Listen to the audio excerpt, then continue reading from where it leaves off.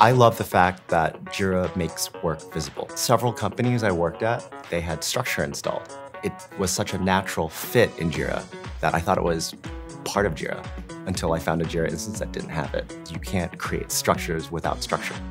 There's other tools that I've used at different companies that try to solve the problems that structure does, but just aren't as good.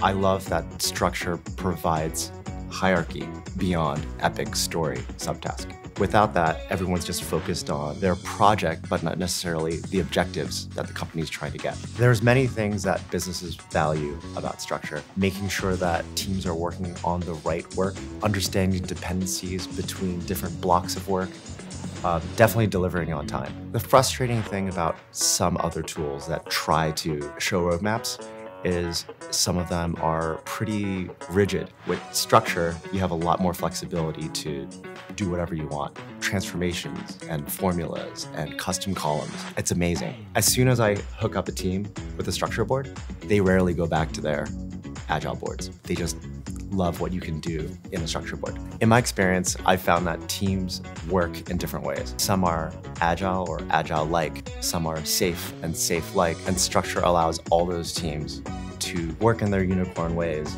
and still use Jira. This is the only way to work.